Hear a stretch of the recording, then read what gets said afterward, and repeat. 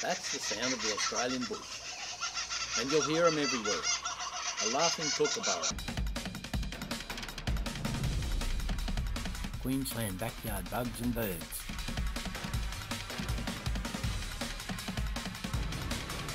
The laughing kookaburra makes its nest in termite mounds and hollow trees. I've been following these ones in a termite nest. They actually took over from the kingfishers last year. So come with me and have a look at this.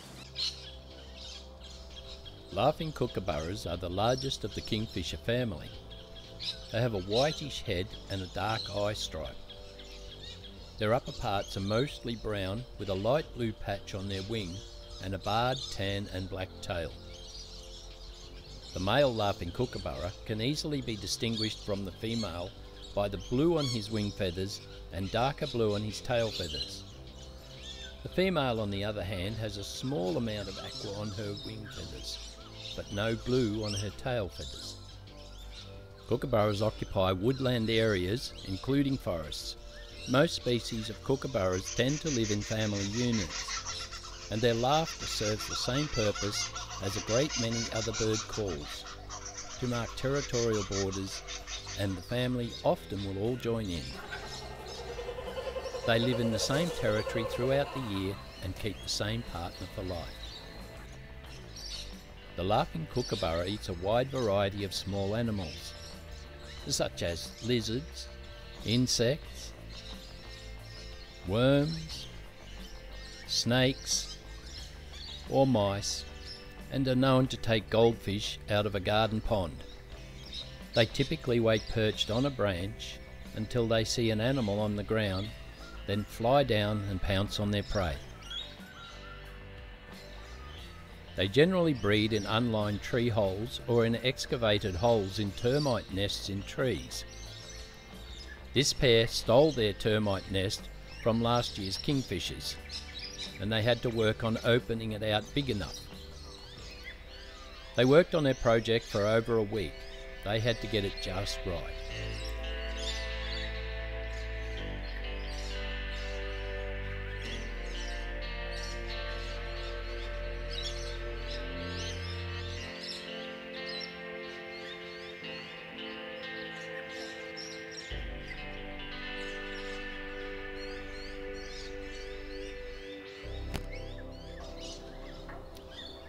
And it looks like it was good enough for her.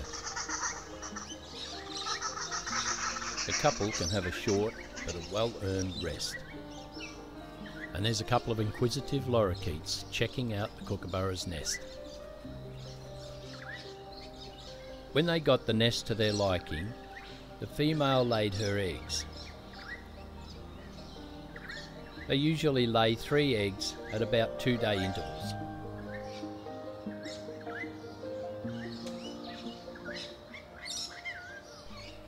They take turns at sitting on the eggs.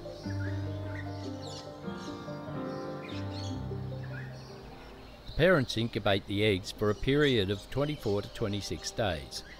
Usually, the first egg to be laid in a clutch will be a male and the second will be a female. If the food supply is not adequate, the third egg will be smaller and the chick will also be smaller and at a disadvantage relative to its larger siblings. The chicks will quarrel. The smallest chick may even be killed by its larger siblings.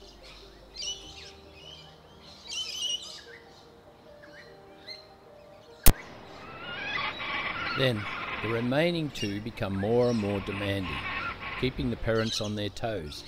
Often last year's offspring will assist with the feeding.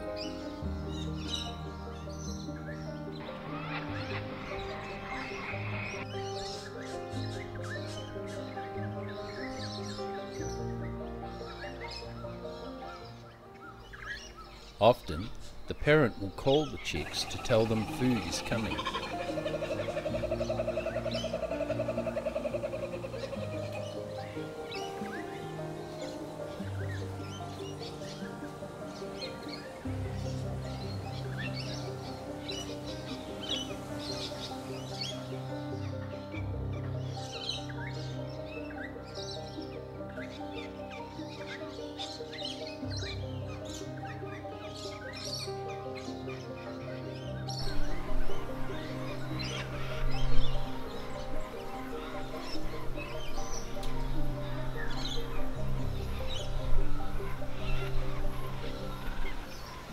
But they don't like everything that they're given.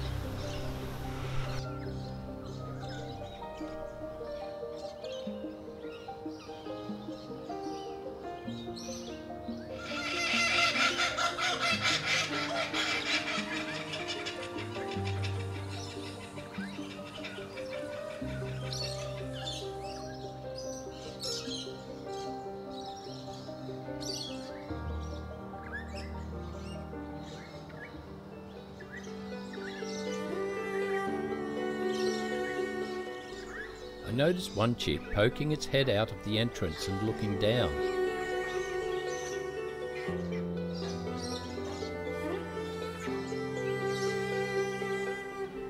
When I investigated, I found one of the remaining two chicks had either fallen or was pushed out of the nest. In any case, it didn't end well.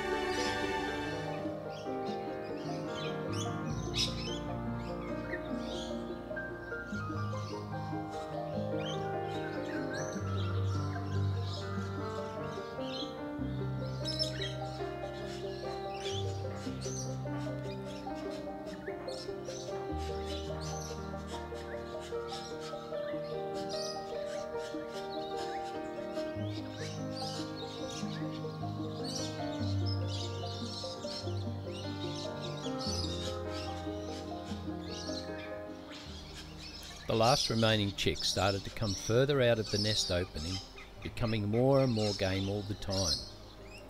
Meanwhile, Mum and Dad just kept feeding it tirelessly.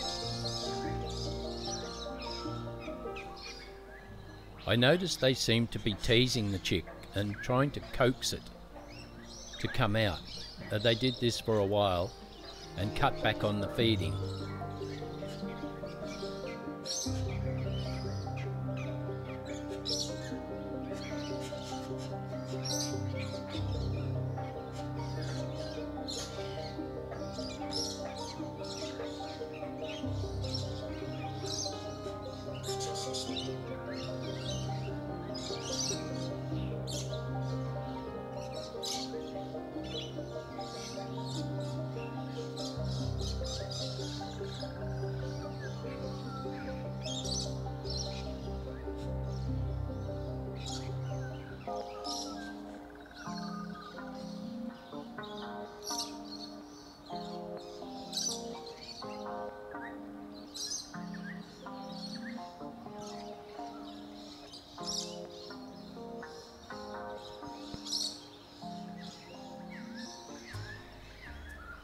Then, after some coaxing, the chick flew.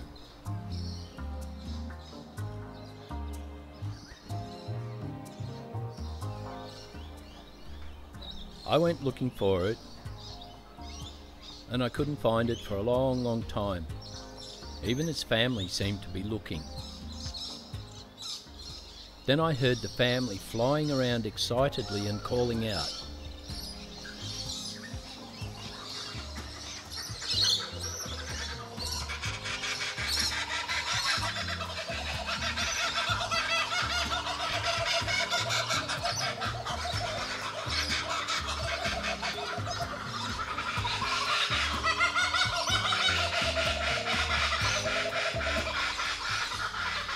And I spotted it sitting on my back fence.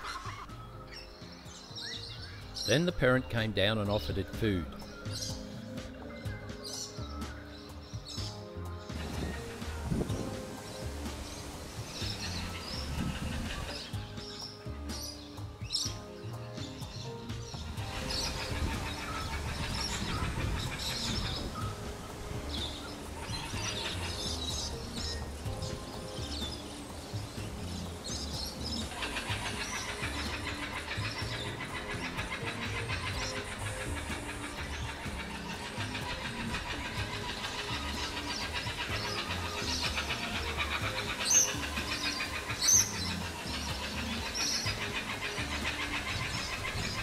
It sat there for a long time, then it eventually flew off into the bush.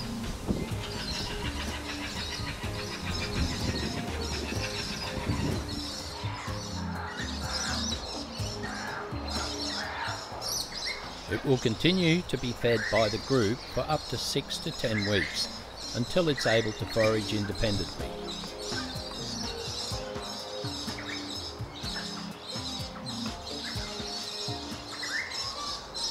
I have seen it around a couple of times since. It's come into the backyard once, but I don't want to go too close and frighten it away. So it's just another success story for the kookaburras.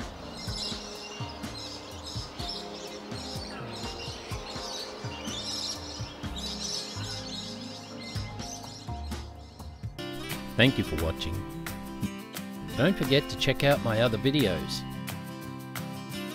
Oh, and don't forget to subscribe.